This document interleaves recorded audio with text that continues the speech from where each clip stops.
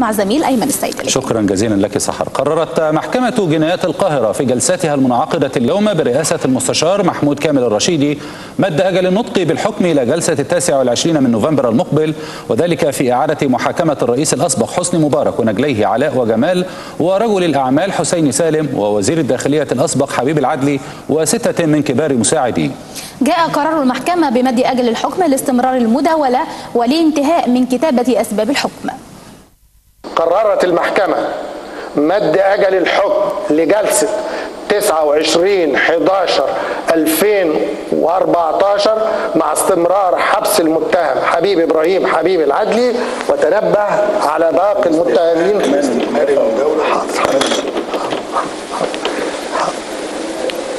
السبب هتسألوني. طب أنت بتمد ليه؟ أعتقد الصورة نطقة نحن ما زلنا نستكمل المداولة وما زلنا نستكمل الاطلاع وخير بيان لينا وخير أسباب مش اللي كتبناه اللي عرضناها قدامكم.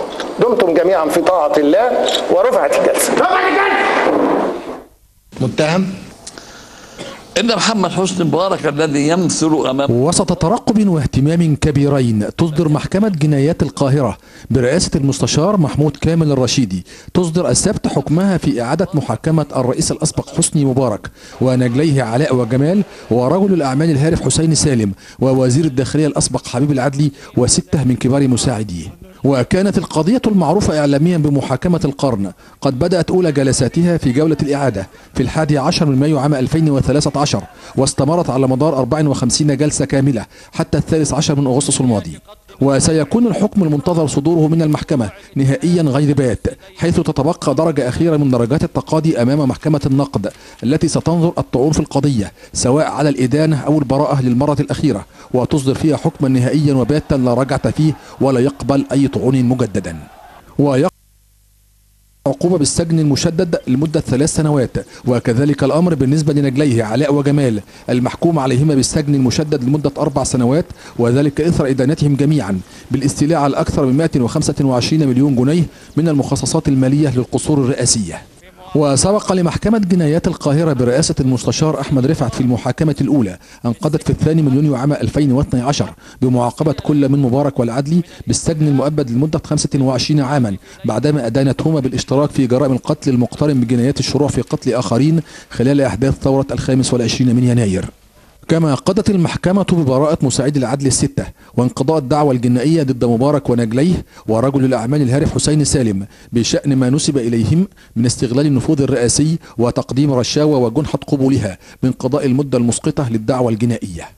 كان دفاع مبارك والعدل قد تقدم بطعن أمام محكمة النقد على حكمي الإدانة الصادر ضدهما كما تقدمت النيابة العامة بطعون على أحكام البراءة الصادرة وقضت المحكمة بإلغاء كافة الأحكام الصادرة من المحكمة الأولى سواء بالإدانة أو البراءة وأمرت بإعادة محاكمتهم جميعا من جديد. وبنفس الدرجة من الاهتمام الشعبي والدولي التي حازت عليه المحاكمة الأولى للرئيس الأسبق حسني مبارك تابع الجميع جلسة اليوم في القضية المعروفة إعلاميا باسم محاكمة القرن. وقد مرت محاكمة مبارك بمراحل ودرجات عديدة لم تتبقى منها سوى درجة تقاد واحدة. تصدر محكمة جنايات القاهرة السبت حكمها في إعادة محاكمة الرئيس الأسبق حسني مبارك ونجليه علاء وجمال مبارك ووزير الداخلية الأسبق حبيب العدلي وستة من كبار مساعديه ورجل الأعمال الهارب حسين سالم في قضية قتل المتظاهرين والفساد المالي والمعروفة اختصارا بقضية القرن. بدأت أولى جلسات محاكمة القرن في الثالث من أغسطس عام 2011 حينما مثل مبارك في قفص الاتهام أمام محكمة مدنية بتهمة قتل المتظاهرين إبان أحداث ثورة الخامس والعشرين من يناير وقضايا الفساد المالي والتي ترتب عليها إهدار للمال العام والإضرار العمد به. في الثاني من يونيو عام 2012 قضت محكمة جنايات القاهرة برئاسة المستشار أحمد رفعت قضت بمعاقبة مبارك والعدلي بالسجن المؤبد لمدة 25 عاما بعد إدانتهما بالاشتراك في جرائم القتل المقترن بجنايات الشروع في قتل آخرين خلال أحداث ثورة الخامس والعشرين من يناير كما قضت المحكمة ببراءة مساعدي العدل الستة.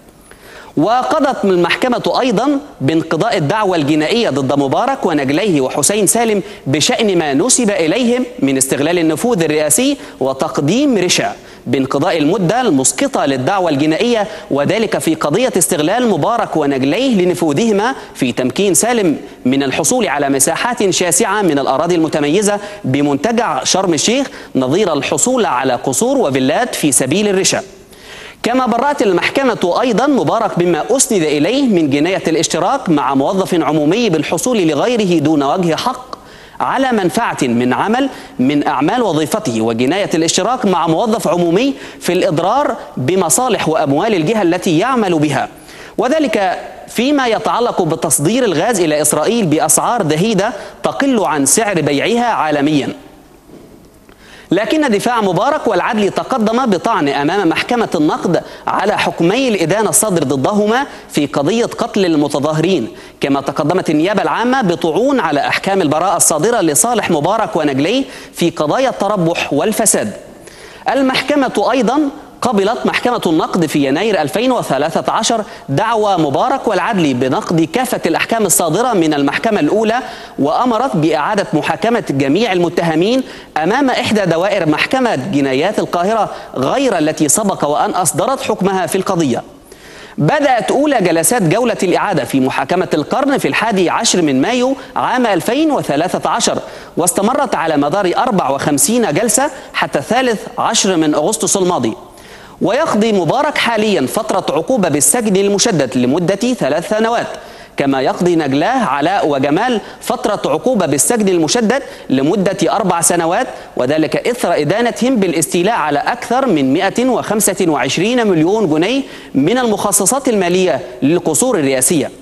سيكون الحكم المنتظر صدوره من المحكمة غير بات حيث تتبقى درجة أخيرة من درجات التقاضي أمام محكمة النقد التي ستنظر الطعون في القضية للمرة الأخيرة وتصدر فيها حكما نهائيا وباتا لا رجعة فيه ولا يقبل أي طعون مجددة. كانت هذه مشاهدينا نظرة موجزة عن المراحل التي مرت بها محاكمة مبارك في قضية القرن والتي تحظى باهتمام إعلامي كبير على المستويين العالمي والمحلي أولى من نوعها في مصر وفي العالم العربي. وللمزيد من المتابعة أيضا حول هذا الموضوع ينضم إلينا من أمام أكاديمية الشرطة مباشرة مراسل النيل رمضان المطعني رمضان. بداية ردود الأفعال بعد تأجيل النطق بالحكم في قضية القرن.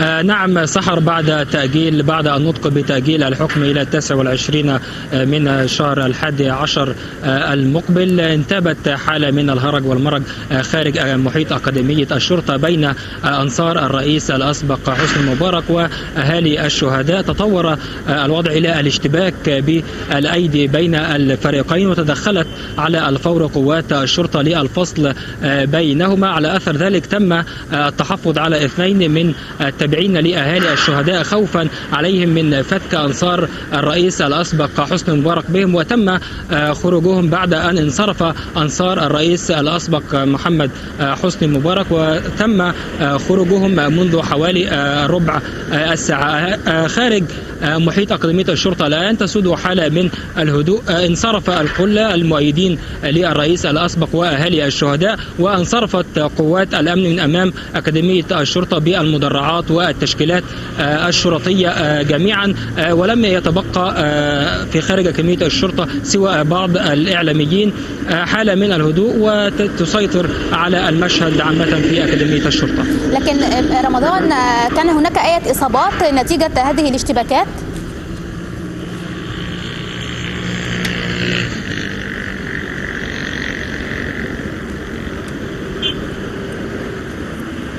نعم هي لا لم تكن هناك إصابات ولكن هي مناوشات بين الاثنين وبعض اللكمات والضربات بين الفريقين ولم يتطور إلى لم نرى أي إصابات حتى ولو طفيفة أو بسيطة على الفور تدخلت قوات الشرطة وفصلت بين الجانبين وانصرف الجانبان دون حدوث أي إصابات. طب بالنسبة للأعداد يا رمضان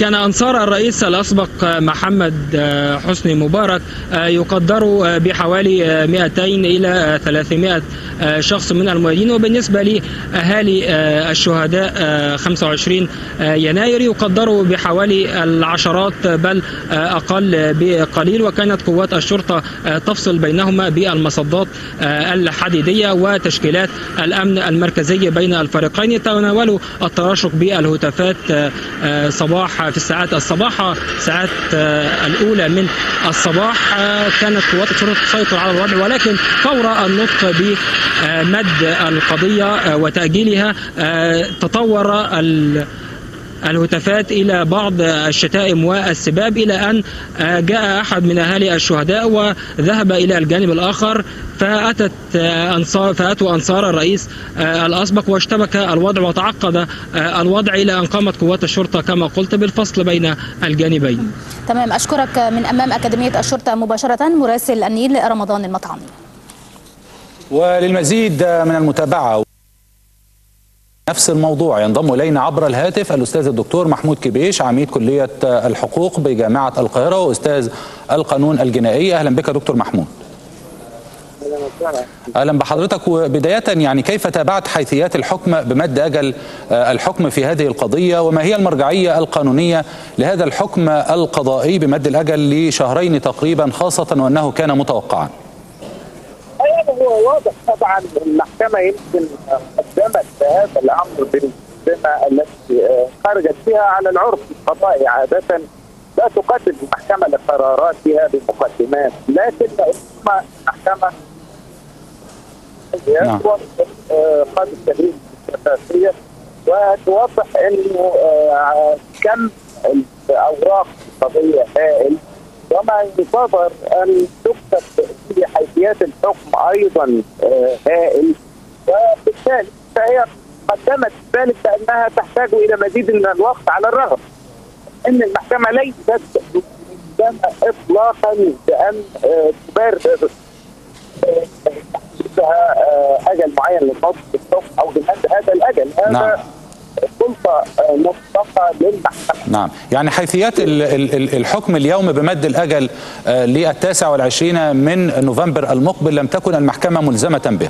لا لا ليست ملزمة إطلاقا هو قرار الحقيقة وليس حكم هو قرار قرار طب أجل أخيرا ويعني ونظرا لسوء الصوت دكتور محمود عفوا هل هناك إجراءات قانونية أو قضائية مفترضة حتى جلسة الحكم بعد حوالي الشهرين؟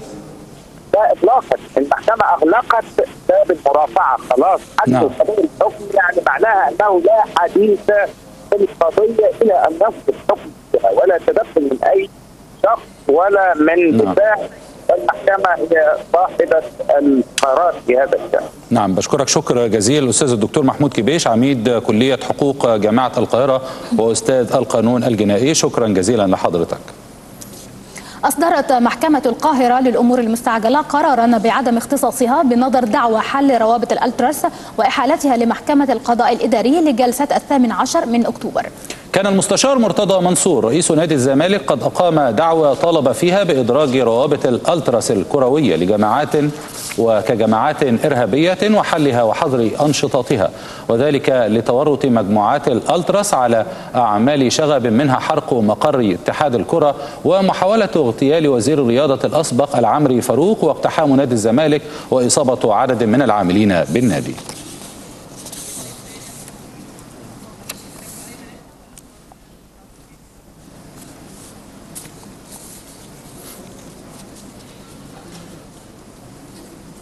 وللمزيد من المتابعة تنضم إلينا من مجمع محاكم عابدين مراسلة النيل نشوى صالح. نشوى بداية كيف تابعت جلسة محاكمة الأمور المستعجلة وقرارها بعدم اختصاصها بنظر الدعوة وماذا عن الأجواء المصاحبة لديك؟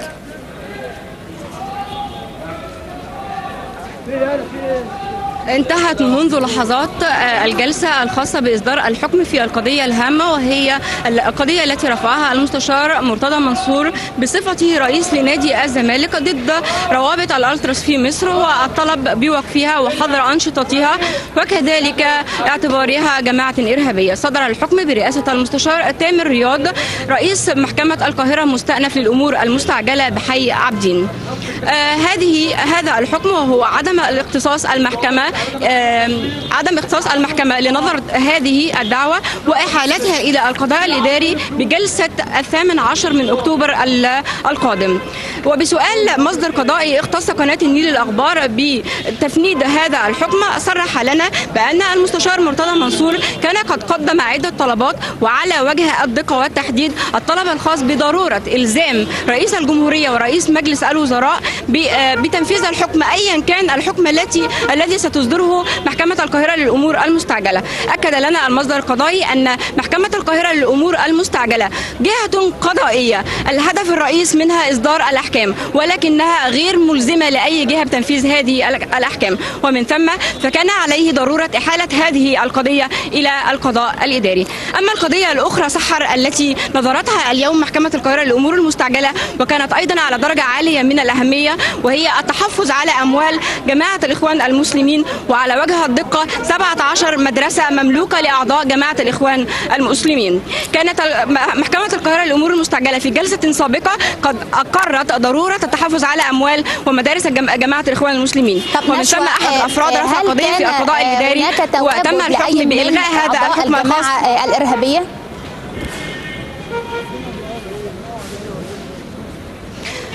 الأمر اليوم غاية في الغرابة. لم يتواجد أي من أفراد جماعة الألتراس بالنسبة للقضية الخاصة بالألتراس وحلها ولم يتواجد أي من المحامين الخاصين بهيئة الدفاع سواء عن المستشار مرتضى منصور أو الألتراس. وكذلك بالنسبة لقضية التحفظ على ال 17 مدرسة الخاصة بجماعة الإخوان المسلمين لم يتواجد أي من جهة الدفاع. وذلك نظرا من خلال أن هذه القضيتين هما قضيتين منظورتين للحكم فبالغالب الأعم لم يحضر أي من هيئة الدفاع أو سواء للطرف المدعي أو المدعي عليه نشوى هل كان هناك حديث حول الإجراء القادم وخاصة بعد أن أصدرت المحكمة قرارا بعدم اختصاصها بنظر دعوى حل روابط الألتراس؟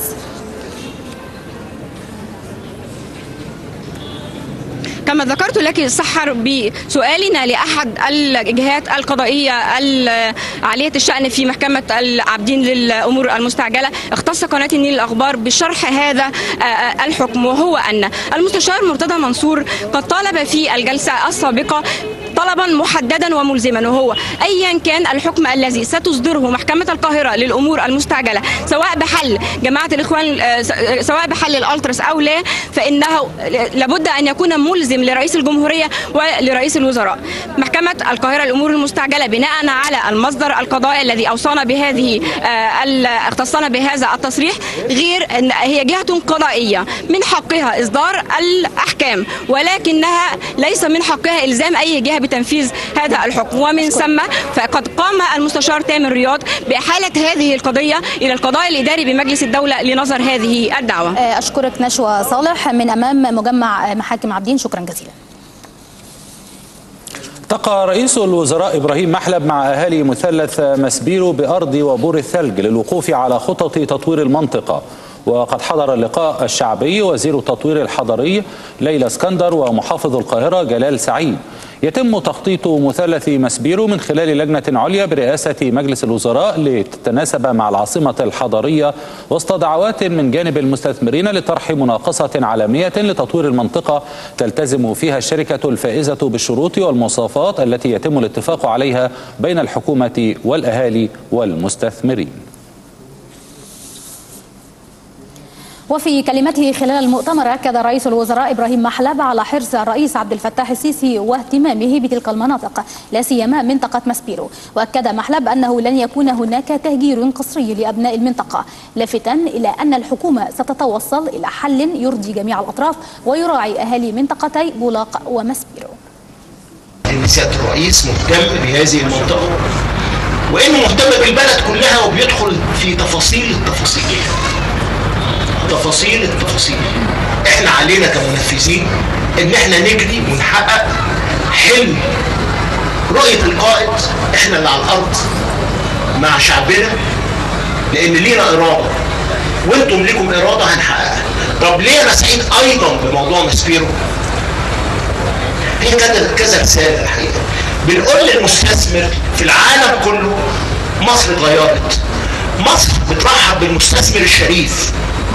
مصر بترحب بالمستثمر اللي هو جاي يستثمر في بلدنا ويتبسط ويكسب ولكن شعبنا ليه الحق وشعبنا هي هي هيتعود عليه الاستثمار بالتنمية وبتشغيل أولاده وبرفع المستوى. مفيش تناقض بين التنمية، يعني إيه تنمية؟ يعني حاجة واقفة. طب أنا أفكر النهارده إزاي الحاجة اللي تساوي جنيه أخليها تساوي مليون جنيه. بس مش هقعد اتفرج. ودي كانت المشكلة. أكد وزير الخارجية سامح شكري أن تنظيم استخدام حق الفيتو على قرارات مجلس الأمن الدولي يجب أن يأتي في إطار عملية إصلاح شاملة لآليات الأمم المتحدة تتوائم مع ميثاق المنظمة وتتناسب في الوقت نفسه مع التحديات الراهنة للسلم والأمن الدوليين جاء ذلك خلال حضور شكري للاجتماع الوزاري المخصص لمناقشة مقترحات تنظيم استخدام حق الفيتو. كما التقى شكري بأعضاء مجلس العلاقات الخارجية الأمريكية حيث جدد التزام مصر بإنهاء المرحلة الثالثة من خريطة الطريق وإجراء الانتخابات البرلمانية. طالب الرئيس الفلسطيني محمود عباس بإنهاء الاحتلال الإسرائيلي على الأراضي الفلسطينية داعيا إلى ضرورة وجود سقف زمني لأية مفاوضات مع إسرائيل. من جانبها احتجت الولايات المتحدة على خطاب عباس ووصفته بالمخيب للآمال الذي من شأنه أن يجهض الجهود الهادفة إلى إعادة بناء الثقة بين الأطراف. هناك احتلال يجب أن ينتهي الآن وهناك شعب يجب أن يتحرر على الفور. دقت ساعة استقلال دولة فلسطين وأعتقد أنكم تستمعون لدقاتها.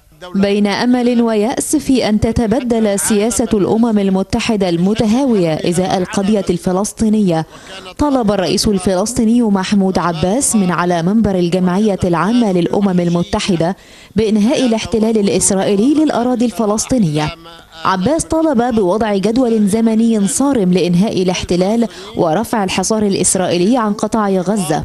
وشدد على أن محادثات السلام مع إسرائيل لا قيمة لها ما لم يكن الهدف إنهاء الاحتلال المستمر منذ 47 عاما للأراضي الفلسطينية. لا صدقية ولا جدوى لمفاوضات تفرض إسرائيل نتائجها المسبقة بالاستيطان وببطش الاحتلال. الولايات المتحدة الحليف الوثيق لإسرائيل احتجت على خطاب عباس ووصفته بغير البناء والذي من شأنه أن يجهض جهود إعادة بناء الثقة بين الأطراف.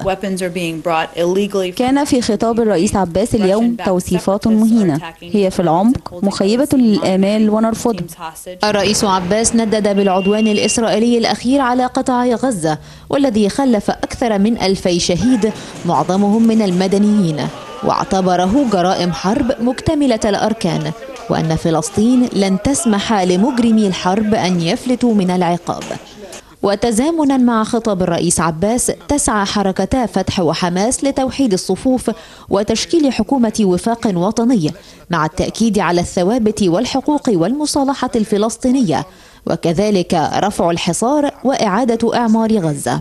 أعتقد بأن التفاهمات اللي حصلت بين فتح وحماس أمس بالقاهرة تشكل مظلة وتشكل توافقا فلسطينيا على الثوابت وعلى الحقوق وعلى المصالحة.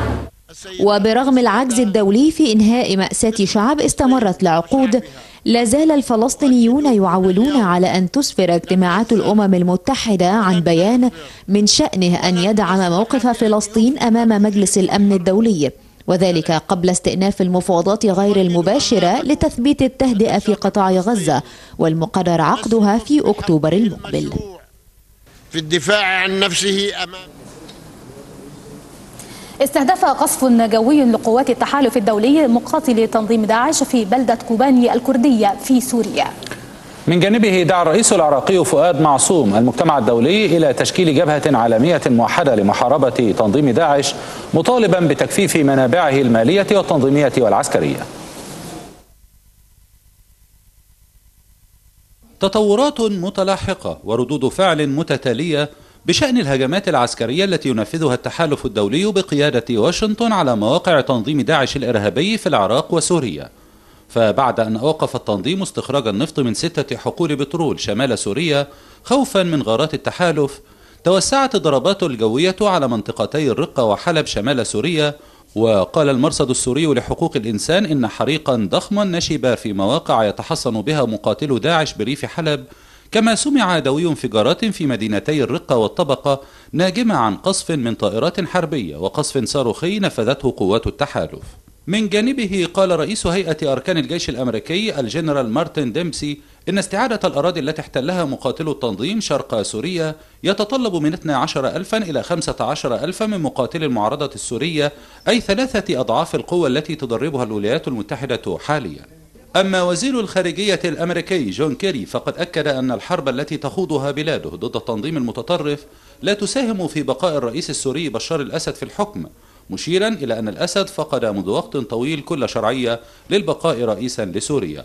وعلى الرغم من موافقة روسيا على أهمية مواجهة التنظيمات المتطرفة في سوريا والعراق ومساندتها للمجتمع الدولي في هذا الصدد إلا أن موسكو جددت تأكيدها أن أي تدخل عسكري ضد داعش في سوريا يجب أن يتم بموافقة السلطات السورية وبالتوافق مع القانون الدولي.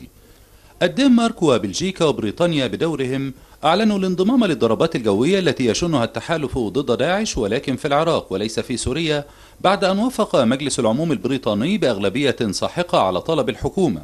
ومن المنتظر أن تبدأ الطائرات الحربية البريطانية شن غاراتها خلال الساعات القليلة القادمة. في ليبيا وقعت اشتباكات بين جماعة مسلحة وقوات من الجيش الوطني الليبي في مدينة بنغازي بينما حذرت رئاسة الأركان العامة للجيش من اقتراب السفن أو المراكب من الموانئ الليبية دون إذن مسبق منها. دبلوماسيا تلقى الممثل الخاص للأمين العام للأمم المتحدة في ليبيا برناردينيو ليون ردودا إيجابية من جانب مجلس النواب ومن البرلمانيين المقاطعين لجلسات البرلمان على دعوته للمشاركة في حوار سياسي في التاسع والعشرين من الشهر الحالي حول سبل إنهاء الأزمة التي تمر بها البلاد. بين طرابلس وطبرق تنقسم ليبيا سياسيا وفي بنغازي تنقسم عسكريا في معارك مسلحة لم تحسم بعد. حالة من الفوضى السياسية تسود ليبيا في وجود حكومتين وخلف كل منهما برلمان أحدهما في طرابلس والآخر في طبرق. أما المعارك في بنغازي فتشهد تطورا جديدا بعد تهديدات من قوات رئاسة الأركان لقوات حفتر من اقتراب السفن أو المراكب من الموانئ الليبية من دون إذن مسبق منها. كذلك طالبت فرنسا بإدراك تنظيم أنصار الشريعة الليبي على لائحة مجلس الأمن الدولي للتنظيمات الإرهابية. ووصف وزير خارجية الفرنسي لوران فابيوس وصف ليبيا في هذا الشأن بأنها بؤرة للإرهاب. في ليبيا نحن نواجه تحديين. الأول إطلاق مصالحة وطنية بين مختلف الأطراف. والثاني هو إيجاد السبل والوسائل لإنهاء ما أصبح بؤرة للإرهاب. ورغم التدهور السياسي والأمني يبدو أن الأطراف المتنازعة في المشهد الليبي لديها رغبة في إنهاء الأزمة. حيث وافقت مؤخرا على دعوة الممثل الخاص للأمين العام للأمم المتحدة في ليبيا برناردينو ليون على عقد حوار وطني في التاسع والعشرين من الشهر الجاري. على التزام مجلس النواب والحكومة والهيئة التأسيسية بإرساء دولة عصرية تحترم فيها الحقوق والحريات دولة المؤسسات وحكم القانون. آملين أن تتم الموافقة على توسيع ولاية بعثة الأمم المتحدة للدعم في ليبيا.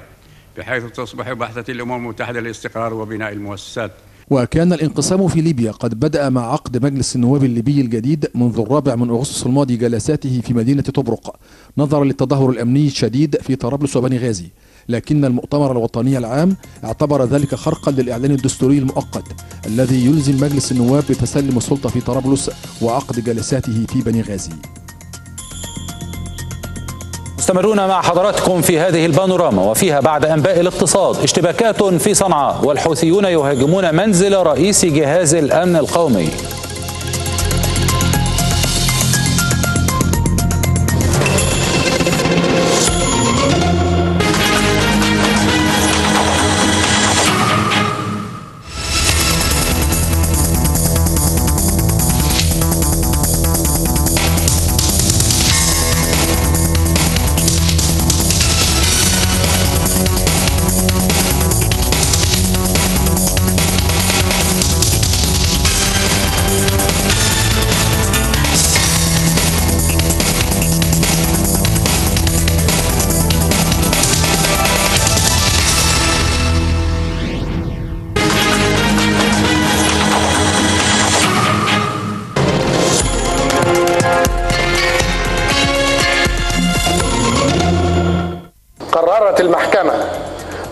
أجل الحكم لجلسة 29 11 2014 مد أجل النطق بالحكم في قضية قتل المتظاهرين لمبارك ونجليه وحسين سالم والعدلي وستة من كبار مساعديه إلى جلسة التاسع والعشرين من نوفمبر المقبل.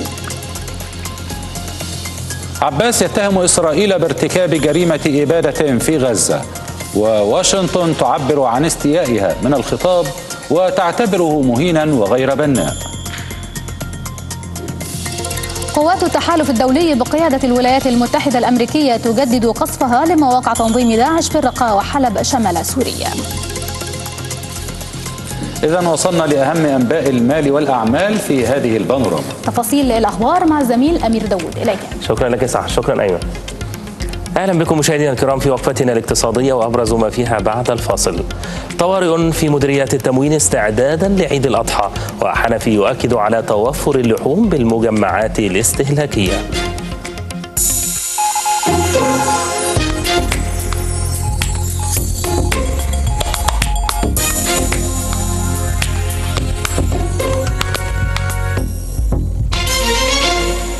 أهلا بكم من جديد والبداية بالشأن المحلي حيث أعلنت مديرية التموين والتجارة الداخلية بالقاهرة حالة الطوارئ القصوى بجميع أجهزتها وإداراتها الفرعية استعدادا لاستقبال عيد الأضحى المبارك.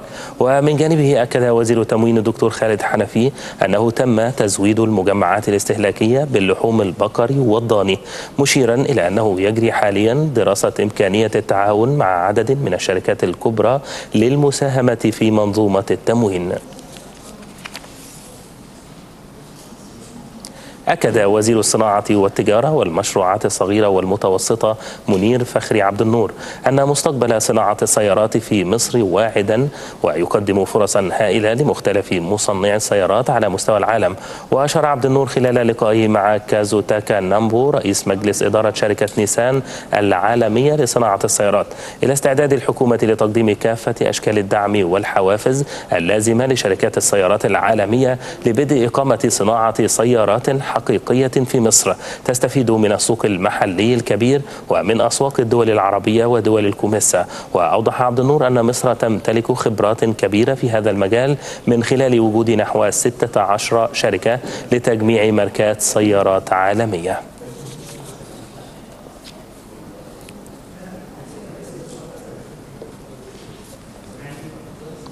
أكد وزير الاستثمار أشرف سلمان عقب عودته من الزيارة الرئاسية إلى الولايات المتحدة الأمريكية أكد أن الزيارة كانت ناجحة وأشار الوزير إلى أنه تم الاتفاق مع عدد من الشركات الراغبة في الاستثمار بمصر ومنها شركة عرضت توريد كراكات لمصر وأخرى للطاقة المتجددة تم الاتفاق معها على زيادة استثماراتها بمصر.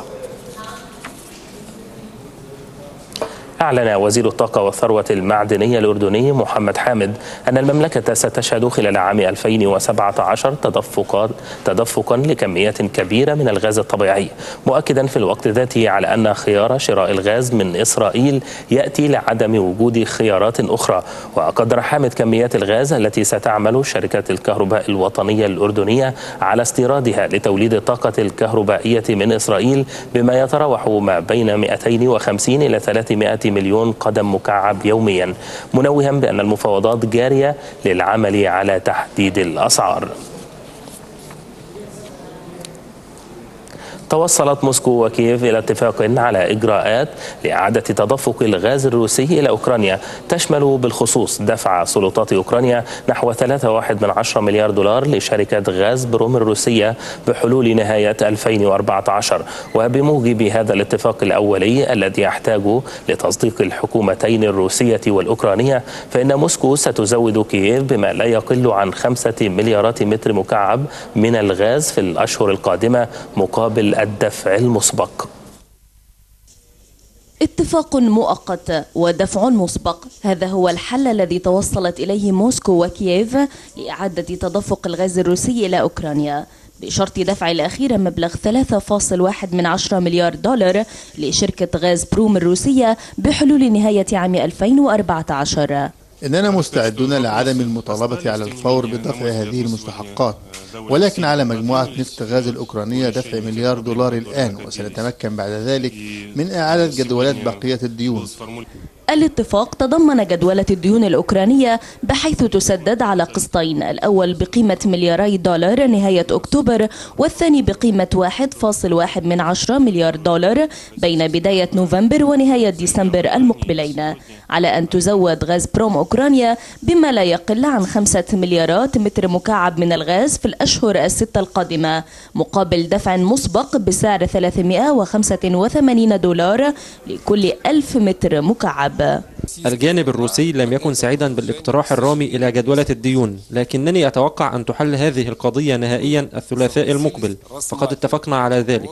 الإعلان عن الاتفاق جاء بعد لقاء عقده المفوض الأوروبي المنتهي ولايته جونتر أوتنجر مع وزير الطاقة الروسي ألكسندر نوفاك ونظيره الأوكراني يوري برودان في العاصمة الألمانية برلين. لبحث مخرج لأزمة الغاز التي أدت في منتصف يونيو إلى توقف إمدادات الغاز الروسي إلى أوكرانيا بلد العبور الأساسي للغاز إلى أوروبا. الوفود الحاضرة هنا تحتاج لأن تستشير حكوماتها لكني أعتقد أنه سيكون هناك حل واضح وملموس. الحقيقة الآن هي أن المحادثات تجري على قدم وساق وهي تركز على أسعار التوريد وهو ما يؤسس لوجود حل. يشار إلى أن اجتماع برلين عقد بهدف إيجاد حل للخلاف بين كييف وموسكو حول سعر الغاز وضمان الإمدادات للاتحاد الأوروبي في وقت تترسخ فيه الهدنة في المعارك على طول خط الجبهة في المنطقتين الانفصاليتين الناطقتين بالروسية دونتسك ولوغانسك في شرق أوكرانيا. ختام وقفتنا الاقتصادية وعودة من جديد إلى زملاء أيمن السيد وسحر صبري واستكمال البانوراما. شكرا أمير. شكرا جزيلا لك أمير. هاجم مسلحون حوثيون منزل رئيس جهاز الأمن القومي اليمني علي الأحمدي عقب اشتباكات عنيفة اندلعت بالقرب من العاصمة اليمنية صنعاء. وذكرت مصادر أمنية أن الاشتباكات أسفرت عن مقتل ثلاثة أشخاص بينهم جندي وإصابة خمسة عشر آخرين كما أغلقت قوات الجيش والشرطة المنطقة. في غضون ذلك سمع دوي انفجارات ناجمة عن إطلاق قذائف جنوب غرب مقر الرئاسة. جاء هذا غداة دعوة الرئيس اليمني عبد رب منصور هادي الحوثيين إلى الانسحاب من صنعاء التي يسيطرون عليها منذ أسبوع متهما إياهم بعدم احترام اتفاق السلام.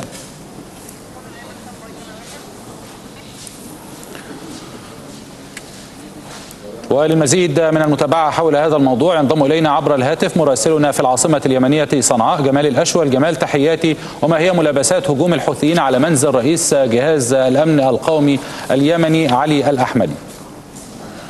نعم هذه هي المرة الثانية التي يهاجم فيها الحوثيون أو يحاولون اقتحام منزل رئيس جهاز الأمن القومي. نعم.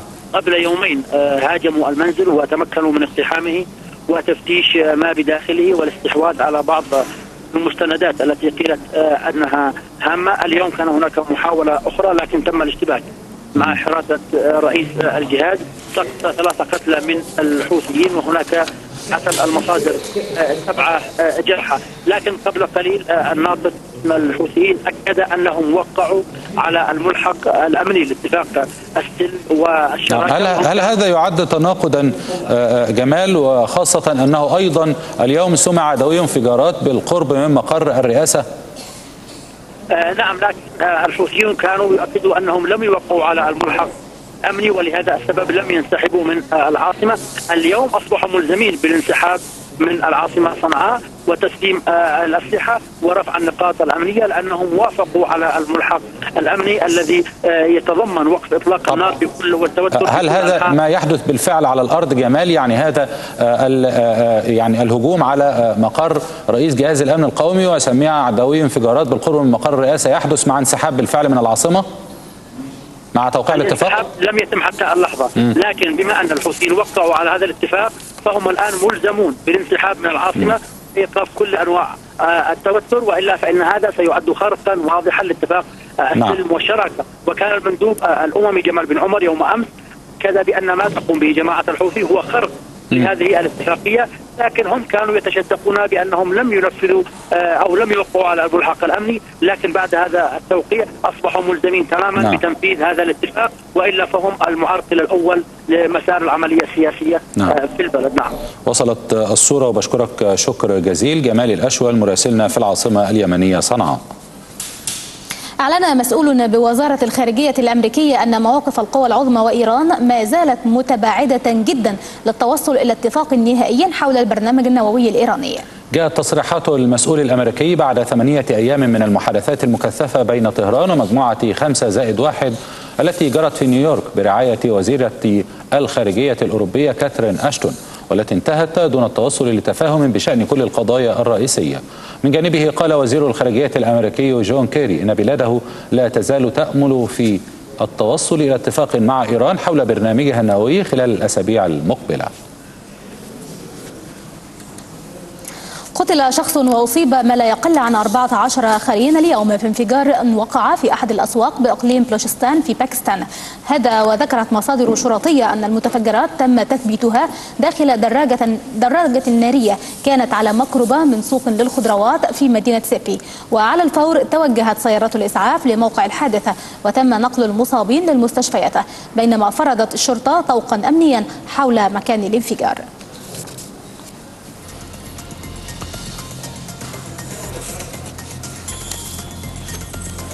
متواصلون مع حضراتكم في هذه البانوراما بعد أنباء الرياضة اكتمال وصول جميع حجاج القرعة للأراضي المقدسة وطوارئ بلجان وزارة السياحة مع استمرار نقل حجاج الشركات.